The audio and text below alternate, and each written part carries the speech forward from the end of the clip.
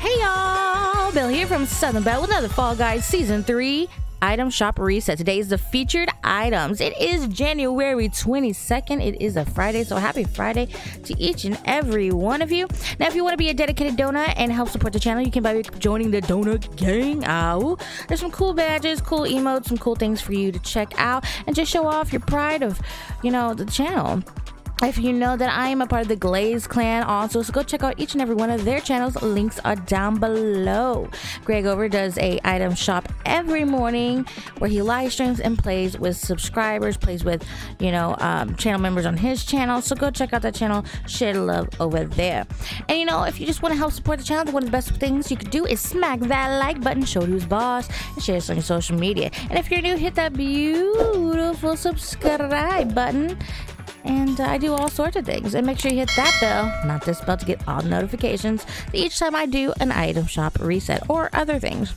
Now, you know, I love to hear from your opinions, so make sure you put down below your opinions of what you think about the item shop, the featured items, my regular items, and what you got for your regular items. I love to hear from them, and I love to put a little comment or two here on the screen so everybody can see that I appreciate you. So the featured items I did not change. There, so this is really weird. So a lot of times the featured items they do for two days lately. It used to be three days and now it's like every two days. But now the gifted has stayed here for at least three days now. This is the third day. So I really don't know the schedule of Fall Guys. They they they go to their own drum. So apparently there is no featured new featured item shop. But we do have some some of the bottom ones. We got a lot of the um, emotes more so. We got come on three crowns. We got patty cake. And we got pineapple. And we got curtsy. okay. Whatever. And we got the violet faceplate. And also, if you have not yet got the penguin, go ahead and snatch that one up, guys. So that's pretty cool.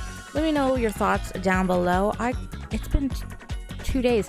I never know what Fall Guys is going to do. Like I said before, the featured top, top item shop, it was there for three days. And then they changed it to where it was only there for two days and it changed a couple times. And now I'm guessing it's back to three days. So we'll just have to wait and see what happens, you know, on uh, this endeavor. So let me know your thoughts and opinions down below. And um, I'll see each and every one of you in the next video.